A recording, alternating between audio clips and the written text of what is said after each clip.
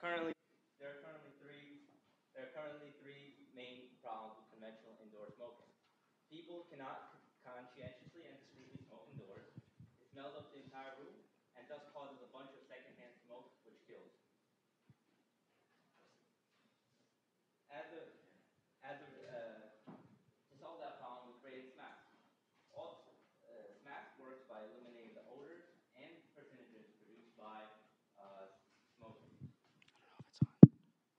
By smoking. Uh, all the user, yeah. all, all, the, all the user has to do is put, a, take a cigarette, put it in this mask, light it internally, and then inhale from and exhale back into the device, allowing the user to smoke smoke-free.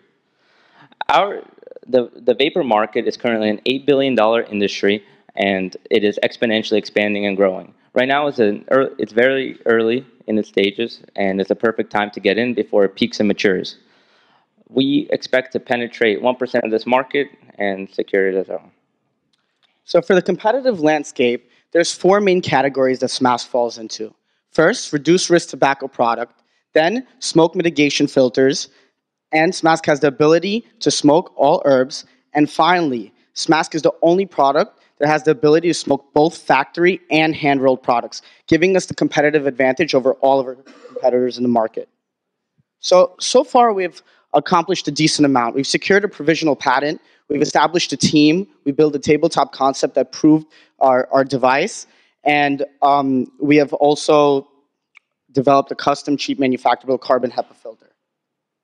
However, we still have a tons to go. So far, we're in a seed round, uh, seed round stage seeking 150,000 to $300,000 in funding so it could get us to launch phase. So like most hardware products, SMASK started out as a drawing. Then, with our preliminary AutoCAD knowledge, we developed a 3D printed SMASK 1 prototype. Then we moved on to a SMASK 2 prototype that included an electrical component, and then a third prototype, and eventually to our final rendered DFM prototype. We wanted to know how well this mask worked, so we got a particle counter and decided to test our filters. What we found is that we drastically reduced the smell, carcinogens, and also last up to 300 uses. And as seen by the picture on the right, you can clearly see how we reduce uh, those pollutants. Uh, this mask is a pocket size, slightly smaller than the iPhone 7 in both length and width. Uh, yeah. We plan to acquire customers using popular tech forums and marijuana forums to resonate with our millennial target audience. We already have soft commitments from uh, many vape shops, tobacco shops, uh, and vaporiums in New York, as well as some uh, dispensaries in Colorado that have uh, that said they will stock our product, and they will be our key partners at launch. Also, we plan to connect to our consumers with a message calling for a, a more conscientious and responsible way of smoking? So for our B2C platform, we have a sales strategy of selling through our key partnerships, as well as developing an e-commerce platform that will allow us to sell online. This mask costs $120, and we have a reoccurring revenue model, which is kind of similar to the Gillette razor model. So essentially, we're going to sell filters for 5 to $10 a month. Our margins are relatively high it's uh, over 75% for the SMASK device, and then over 90% for the actual filter.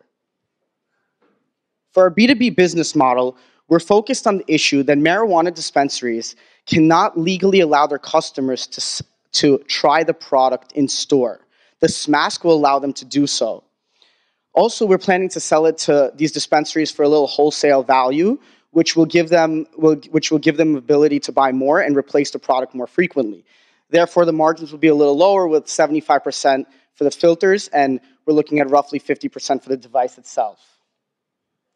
From our financial snapshot, uh, we have calculated that our revenue on the first year of sales should be roughly 45 million. Yeah, 45 million. Uh, besides me and Dylan, we also have an engineering team with 20 plus years of work experience with big names like Thule and Coleman, so they are more than able to step up to this engineering task.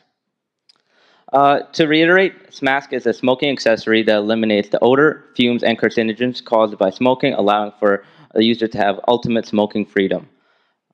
Uh, we are currently in the design for manufacture phase, seeking 150 to $300,000 in funding to take Smask, Smask to launch. Thanks to the help of CUNY Accelerator, we have learned vital techniques such as lean business plan and agile to help our business run smoothly, efficiently, and to minimize wasted time and effort. Thank you everybody for your time. We'd love to take questions. So